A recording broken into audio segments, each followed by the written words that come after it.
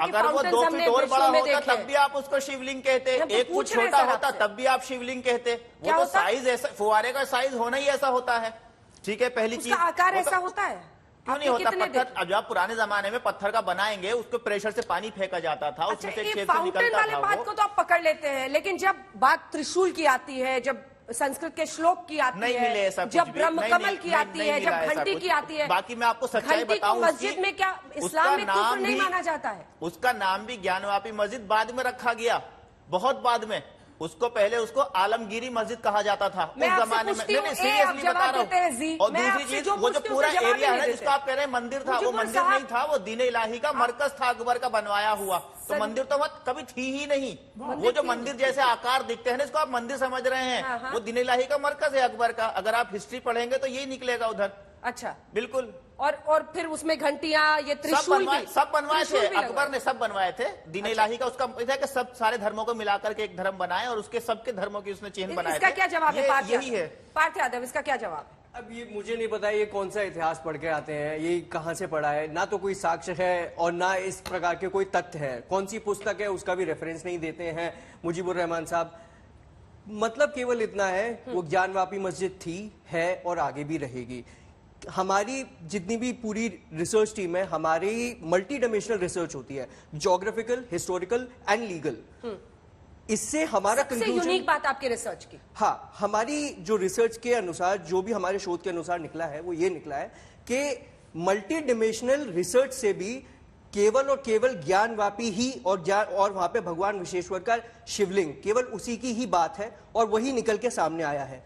ज्ञानवापी जहाँ पर है जो वो plot number three one nine zero machine में से डाल के रिसर्च की ये भी बताते एक मिनट आप बीच में बोलिए ये हिंदुस्तान है मैं यहाँ पे फ्रीडम ऑफ़ स्पीच है। इसलिए ये मैं आपसे पूछा हूँ, वो भी बताते चलिए। ये पाकिस्तान ये श्रीलंका नहीं है, ये श्रीलंका नहीं है, ये भी श्रीलंका नहीं है, आप गलत समझ रहे हैं। ये पाकिस्तान नहीं है जहाँ ये- पे काफिरों का गला काट के उनका मुँह बंद किया जाता है। ये हिंदुस्तान है। हाँ, यहाँ तो पे मतलब सब यहाँ हमारा सब समान है तो सब समान है हाँ, सब समान है। है तो सब कौन कह रहा है? आर्टिकल फोर्टीन ऑफ़ कौन द कह रहा है? कॉन्स्टिट्यूशन अच्छा इधर देखिए इधर देखिए इधर देखिए। सी पार्थ यादव क्या मिला आपको रिसर्च में? तो बताइए। रिसर्च में क्या मिला इस पर आइए। रिसर्च रिसर्च कहाँ से की वो बताइए। मैं आपको अभी आपने कहा ना तो मुझे नहीं बता वो रहा। कोर्ट को- कहाँ से रिसर्च करी वो कोर्ट भी में तो बताइए ना, वो कोर्ट में रख देंगे आप जो भी जनता के सामने रखिए आपने कहा जो भी कौन सी जो मशीन भी से रिसर्च निकाली है वो भी हमारे सा मुजीबुर source है? साहब? आप अदालत में भी ऐसे ही करते हैं क्या? वो कौन सा तो सोर्स है? सुनिए ना सर एक एक करके। सोर्स भी सुनिए ना अभी मेरे सोर्स के ऊपर का सवाल था तो ठीक है सोर्स ठीक बता है जवाब लेने दीजिए मुझे आगे बढ़ना जल्दी से खोदा आपने जल्दी से बताइए एक दो तीन बड़ी चीज़ें आपके रिसर्च में क्या रिसर्च से केवल इतना इतना निकला है कि Gyanvapi is the centre of entire Kashi क्षेत्र और बिना ज्ञानवापी के काशी काशी नहीं है। Gyanvapi is the centrum is the axis mundi of the entire Kashi क्षेत्र। हाँ। और वो जो शिवलिंग का स्थान है उसी को केंद्र बता रहे हैं। वही है। ज्ञानवापी में जो शिवलिंग है जो निकला है जो मेरे बड़े भैया विष्णु जी बता रहे थे हाँ। वही है। दैट इज़ द सेंटर और वो पता इसको चला? ये ना बताइए ना। अभी अब आप- नहीं, तो मानने नहीं, मानने से कुछ नहीं होगा, सबूत बात लाइए। एक एक करके एक एक करके। क्या है? एक एक नहीं नहीं- करके चिल्लाइए मत प्लीज़ एक एक करके एक एक करके। हाँ ठीक है। सबूत लाएँगे और कोर्ट में मामला चल रहा है। चेन ऑफ़ रिसर्च बताना चाहता हूँ। चाहे वो स्कंद पुराण हो चाहे शिव महापुराण हो चाहे शिव महात्म हो चाहे ऋग्वेद हो हर जगह काशी का महत्व हिंदुओं के लिए क्या है ये स्पष्ट रूप से लिखा हुआ है और इन सारी बातों का मैं आस्था पे नहीं जा रहा हूँ सिर्फ़ अपनी बात बता रहा हूँ कि हमारे लिए क्यों महत्वपूर्ण है। काशी का महत्व लिखा हुआ है कि ये जो पाँच कोस का पूरा एरिया है ये अविमुक्त क्षेत्र कहा जाता है। जिसको यहाँ पे मुक्ति जिसकी यहाँ पे मृत्यु होती है उसी को मुक्ति मिलती है। ऐसा एक हिंदुओं की आस्था है। इसके अलावा जब वहाँ पे भगवान शंकर ने अपना यहाँ पे स्वयंभू ज्योतिर्लिंग बनाया, खुद बनाया, सबसे पहला आदि विशेश्वर शिवलिंग था।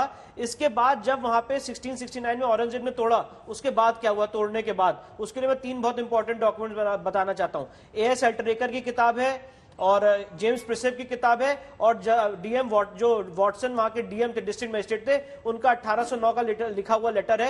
ये तीनों यही कहते हैं कि जब वहाँ पे हिंदुओं का मंदिर तोड़ा गया उसके बाद भी हिंदू वहाँ पे प्लिंथ पे पूजा तो हैं करते अकबर ने वहाँ बनवाया है ये सब देखिए, अंजना जी अंजना जी मैं एक बात कहना चाहता हूँ ये वकील है ये सुप्रीम कोर्ट को मानते हैं। मैं भी सुप्रीम कोर्ट को मानता हूँ।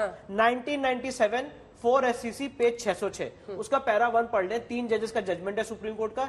जस्टिस रामा स्वामी ने author he is the author of the judgment स्पष्ट रूप से लिखा है कि कैसे यहाँ पे कुतुबुद्दीन ऐबक ने मंदिर तोड़ी उसके बाद कैसे उसका रेस्टोरेशन हुआ उसके बाद तोडरमल ने उसको रेस्टोरेशन किया उसके बाद रानी अहिल्याबाई होलकर ने किया। और ओरिजिनल ज्योतिर्लिंग यही है। वो आदि विशेश्वर का ओरिजिनल स्थान यही है, ये सुप्रीम कोर्ट ऑलरेडी अपने जजमेंट में लिख चुका है, मंदिर तोड़ना हमें प्रूव नहीं करना है। यहाँ पे हमें ये नहीं, मैं ये बहुत इंपॉर्टेंट बात आपके सामने कहना चाहता हूँ that we don't have to prove कि वहाँ मंदिर तोड़ा गया मस्जिद बनाई गई। वो तो ऑलरेडी सुप्रीम कोर्ट 1997 में कह चुका है। राजीव धवन जी उसमें वकील थे। अब सवाल ये बचता है कि आप जो इलीगल पोजीशन में घुसे हुए हैं उसको हम कैसे रेस्टोर करें? दीन मोहम्मद के केस में ये सारे लोग अब तो उसमें तो फिर 91 वर्शिप एक्ट आ जाएगा। नहीं में। 91 अरे मैं उसका वही है? जवाब उसका काट है मेरे पास। पहली बात दीन मोहम्मद का जजमेंट है 1936 का जो 1942 में इलाहाबाद हाईकोर्ट से भी अफर्म हुआ। उसमें 18 लोगों की गवाहियाँ हैं। और उसमें हिंदू पक्षकार नहीं था हिंदू पार्टी नहीं था। वो ब्रिटिश सरकार और मुस्लिम्स के बीच में हुआ था। 18 लोगों की गवाहियाँ अंजना जी, जो चीख चिके कह रही कि वो चारी सारी जगह पे हिंदू पूजा पाठ करते रहते थे। ब्रिटिश सरकार ने कहा है कि ये जगह वफ नहीं है और औरंगज़ेब ने मंदिर तोड़ के मस्जिद बनाई है। तो ये जो दो इंपॉर्टेंट पीस ऑफ़ एविडेंस है, इसीलिए दीन मोहम्मद के केस में इलाहाबाद हाईकोर्ट ने इनकी पिटिशन को रिजेक्ट किया।